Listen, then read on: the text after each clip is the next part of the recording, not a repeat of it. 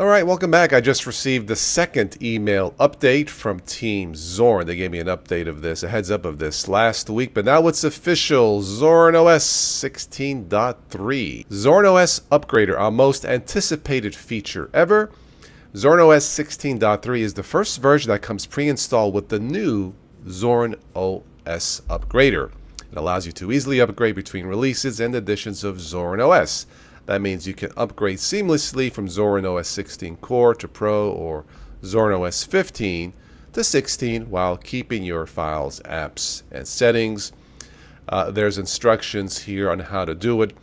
If you don't know already, Zorin OS is in my top three Linux-based systems for beginners, right up there with Chrome OS, Flex, and Linux Mint. I prefer the Mate version, but all versions of Linux Mint are good, including all versions of Zorin OS. So if you haven't already taken a look at this, please do. Um, I may download this and take a look. I've had pretty good luck with Zorin OS in the past, so I don't really anticipate uh, any issues.